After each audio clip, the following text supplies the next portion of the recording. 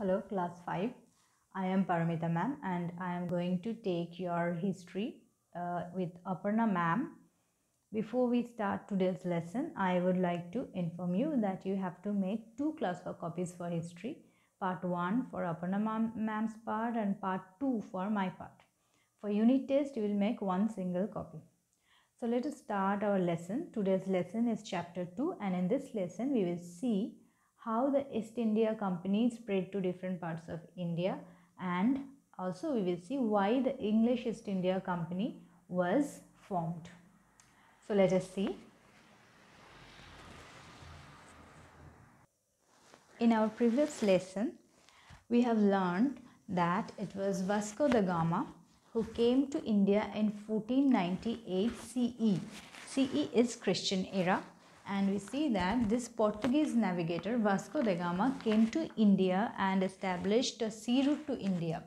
He landed in the port of Calicut and we see that uh, as he established or discovered the new sea route to India, a trade relation developed between India and Europe. After Vasco da Gama, many European powers started coming to India.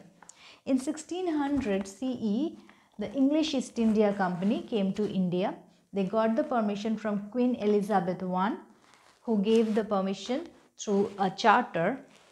And we see that the Queen of Great Britain, that is Queen Elizabeth, through the charter, gave the permission to English East India Company to rule in, uh, to set up their companies in India.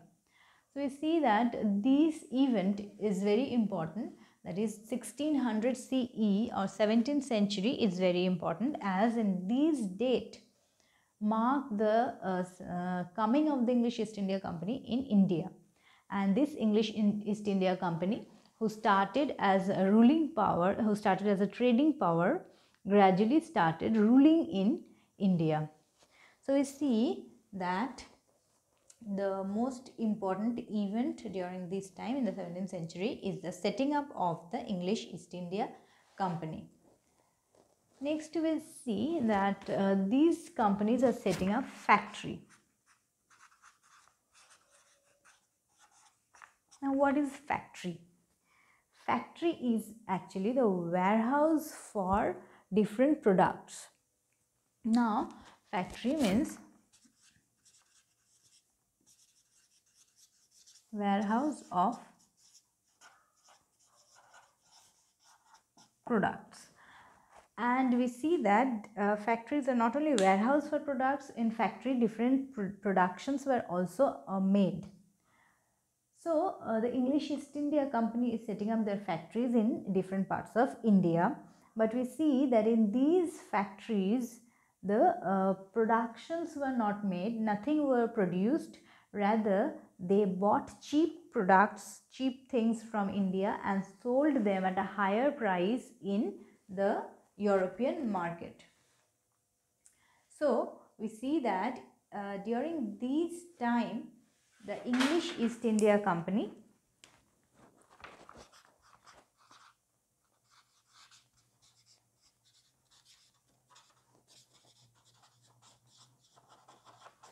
bought raw material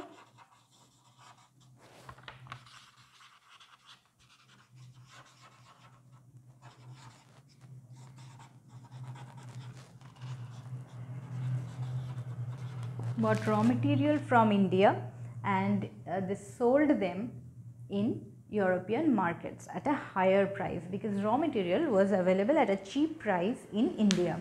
Now, what are raw materials? Raw materials from India were spices which were available in India at a very cheap rate.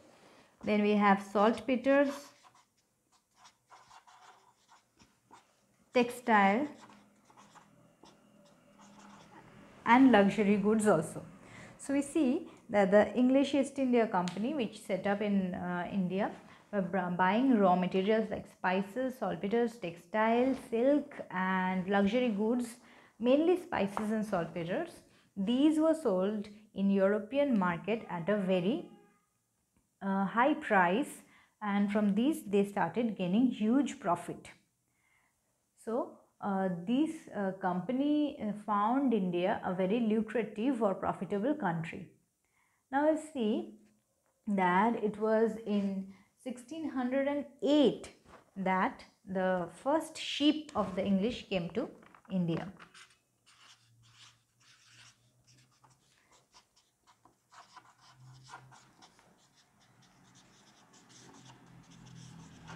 Sixteen hundred and eight first English ship named Hector came to India. So, uh, in 1608 CE, when the first English ship Hector is coming to India, they could not set up their uh, company or they could not set up their uh, trade relation in India. They landed in Surat and they had to return because the Portuguese were already there and due to Portuguese antagonism this ship Hector had to return.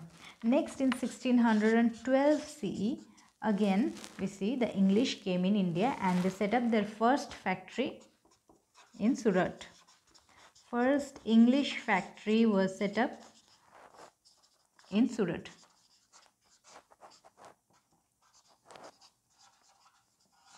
So uh, 1612 is very important that the first English factory is set up in Surat during this time. After these, the next important date is 1615. In 1615, we see Sir Thomas Roe came to India in the court of Emperor Jahangir.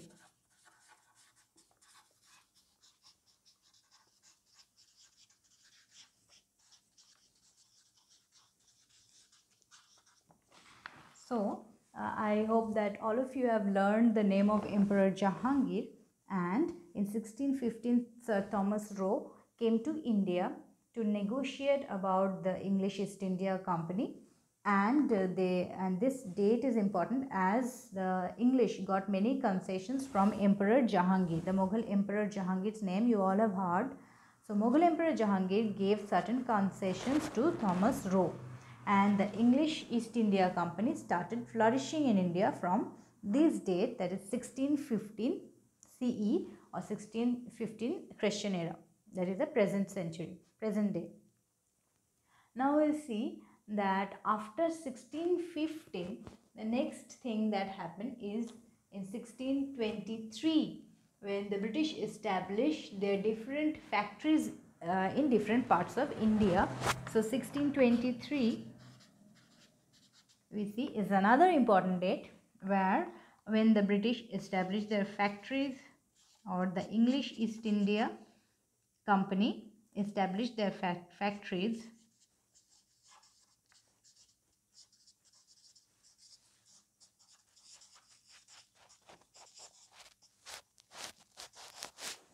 In Surat uh, they had already spread. Now they were also in Broch Broch or Bharuch. Then there was Ahmedabad, Mahi in the south and Masulipatam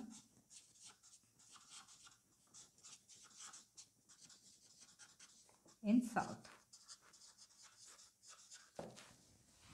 So in these places, uh, other than Surat, the British started establishing their trade centers in Broch or Bharuch, Ahmedabad, Mahi and Masulipatnam.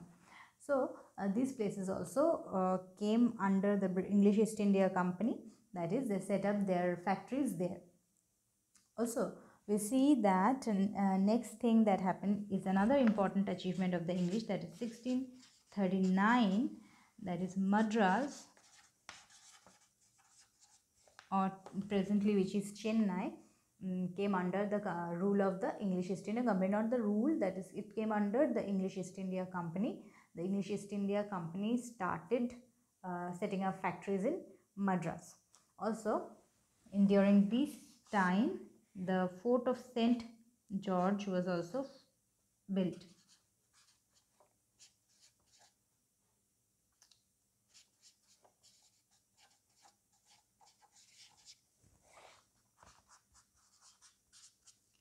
Fort uh, we know that fort is built for protecting uh, an empire. And the english also started building fort to protect their company. So in madras when they conquered in 1639 the fort st george was built so that their company can be protected. The officials were posted uh, in these factories and they kept their own arms own army in these forts to protect the english east india company 1639 thus marked another important date as they brought Madras under their control and the English East India Company was set up in Madras. Next, uh, we'll see that how Bombay came under their control, Bombay which is presently Mumbai. In the early part of the 17th century, that is in 1600, Bombay was under the control of the Portuguese. Now, in 1622,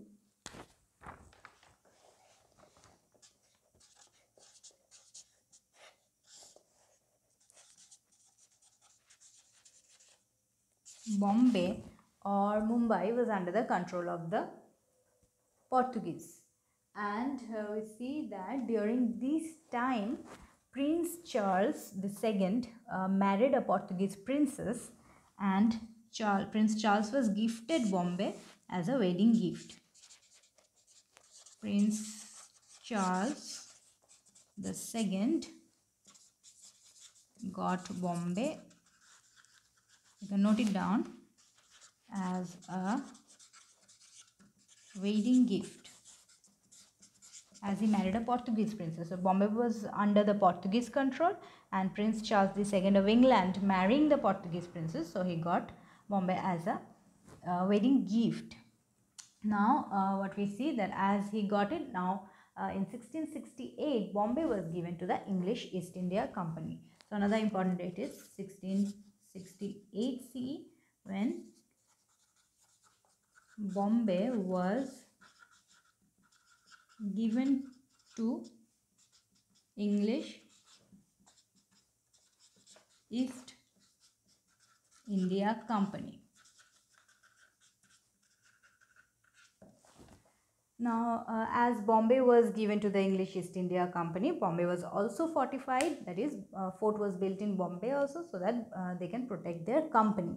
Now, next uh, we see that they brought how they brought Calcutta under their control. Mm, in 1690, we'll see it was in 1690 that Job Charnock founded Calcutta. You should remember this date mark it uh, note it down in your copy.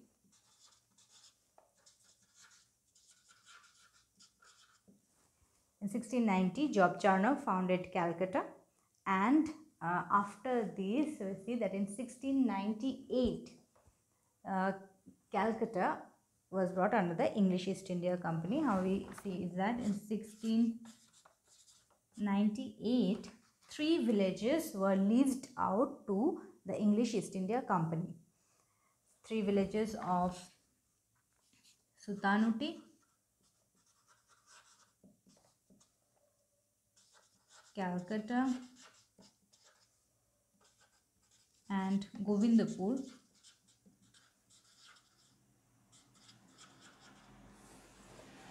these three villages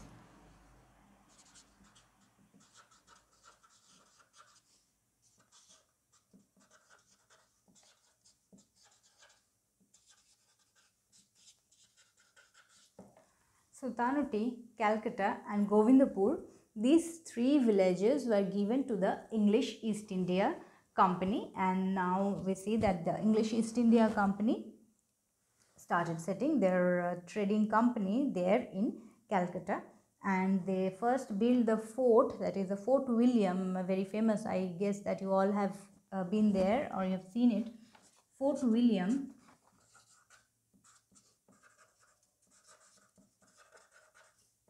was built during this time it started and by 1702 the Fort William was completed. So this fortification of Calcutta was also done and uh, it was made secured for their trading purpose. Now uh, we see that uh, after this that is as Calcutta, Madras, Bombay these all were brought under the control of the English East India Company and we see that uh, these became very profitable centers for trade and commerce of the East India Company.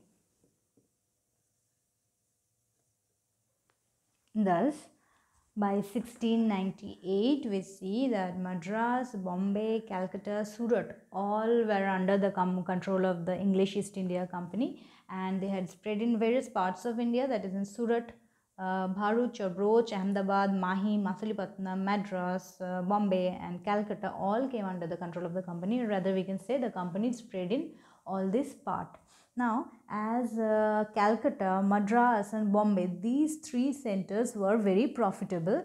So the company set up their headquarters in these three places.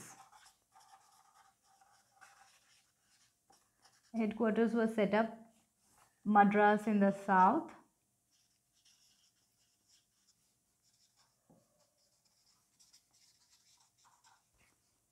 Bombay or Mumbai, presently Mumbai, uh, it was then Bombay in the west and Calcutta which is presently Kolkata. It was then Calcutta. So we will write Calcutta in the east. So these three, Madras, Bombay and Calcutta were the uh, headquarters of the English East India Company and we see that as these places were very uh, trade and commerce was very much developed here and it was very profitable. So these became the british presidencies in latter years.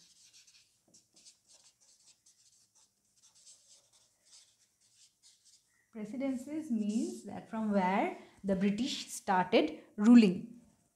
So uh, the headquarters were set up in madras in south bombay in the west and calcutta in the east and the British set up their presidencies. Presidencies means the place from where they were ruling. So presidencies were kept under the control of the British govern government or governor.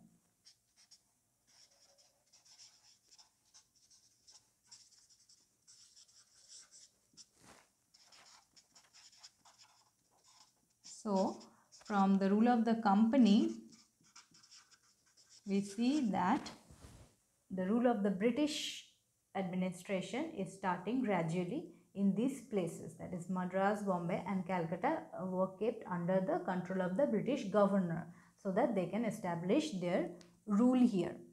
And also we see that uh, during this time in this context we should see the other powers like other uh, trading powers of Europe also came to India like the Dutch, the Portuguese, the French all came to India. The Dutch Portuguese were easily defeated by the English but the French uh, gave a tough competition to the English East India Company.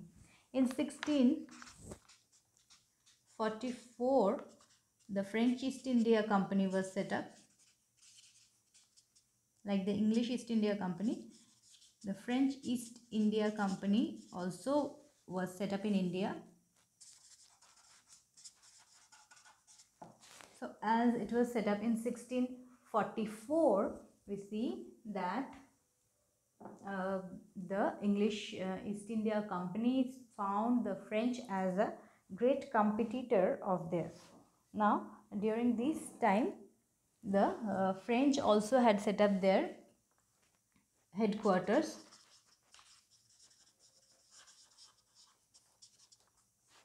sorry it will be 64 french uh, east india company set up their headquarters or set up the in french east india company in 1664 just correct it correct the date. 1664 ce that is christian era.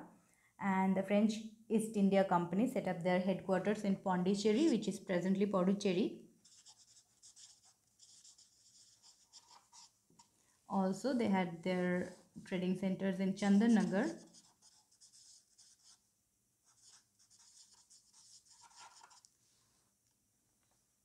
Surat was also under the control of the French East India Company. Means in Surat we see both the English East India Company as well as the French East India Company set up their trading centers. Apart from Pondicherry, Chandanagar and Surat, Masulipatam, Masulipatnam was also uh, under the French East India Company means in Surat and Masulipatnam, we see that the English East India Company was also set up and the uh, French East India Company was also set up.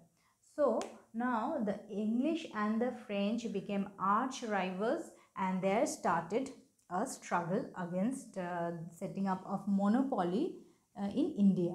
So between the French and the English the war broke out which we will see in our next lesson. Thank you class.